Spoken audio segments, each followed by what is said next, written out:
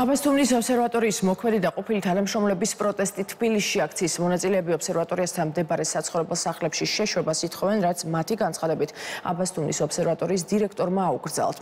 ობსერვატორიის ყოფილი და მოქმედი თანამშრომლების ოჯახის წევრები დირექტორის მიერ 10 მაისს მიღებულ გაწყვეტილებას აპროტესტებენ, რის საფუძველზეც მათ მთა ანუბილის ტერიტორიაზე მდებარე საცხოვრებელ სახლებში შესვლა შეეზღუდათ. აბასთუმნის ობსერვატორიის დირექტორის გამარტებით კი ობსერვატორიაში სამშენებლო სამუშაოები მიმდინარეობს, რის გამოც ტერიტორია ტერიტორიაზე შეზღუდულია მიმოსვლა.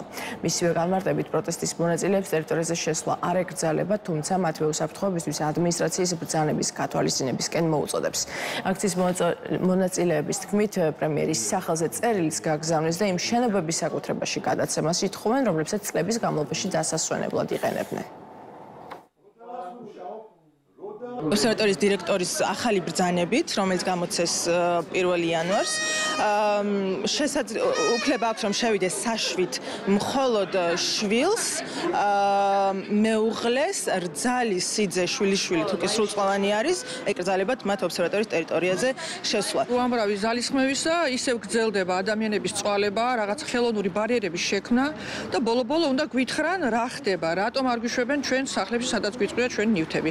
რაღაცა ფორმებს გვახსებინებენ, სადაც არ არის შესული ჩემი ქმარი, ჩემი შვილები სრულ სრულწლოვანი, ან არასრულწლოვანი შვილი შეიძლება თურმე შევიდეს და არასრულწლოვანი შვილი თურმე არ შეიძლება რომ შევიდეს. ოჯახს ყოფე, ყველას არ ანუ მათ მათი წარმოდგენით ყველას არ უშვებენ. მაგალითად, სიძედარძალი არ არის შეყვანილი, ბებია და ბაბუა რო ჩამოა დავშოთ შვილიშვილს ხომ მოყვება, ოჯახის წევრები ოჯახებს ყოფენ. ჩვენ ხელს არ უშლით ამ ადამიანს შევიდნენ.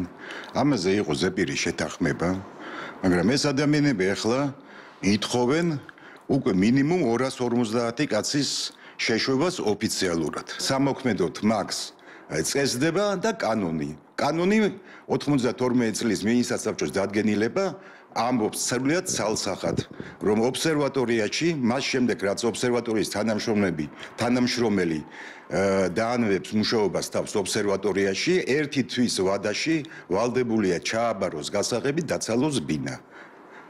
ეს არ მოხდა არ გაკეთდა ეს ამბავი და ჯგუფს გარკვეულ ჯგუფს ადამიანების დარჩა თავის ნივთები და გასაღები რომელიც არ ჩააბარეს და ეხლა აი სარგებლობენ ამით და ითხოვენ უკვე პრაქტიკულად განუსაზღვრელი რაოდენობით ადამიანების შეყვანას ობსერვატორიის ტერიტორიაზე, რაც არის სრულიად დაუშვებელი. კარგად უნდა გვესმოდეს, რომ ერთდროულად დასასვენებელი სახლი აგარაკი და ობსერვატორია.